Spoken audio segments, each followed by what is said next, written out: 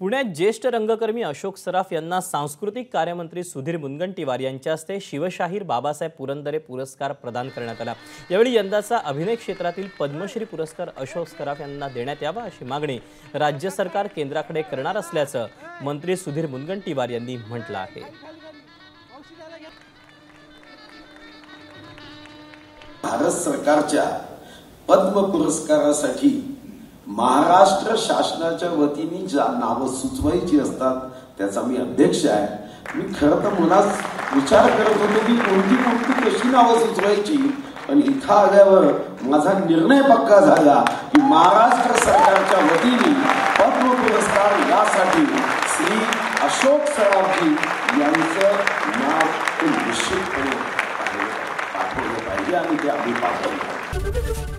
ABP माझा. उघडा डोळे बघा नीट.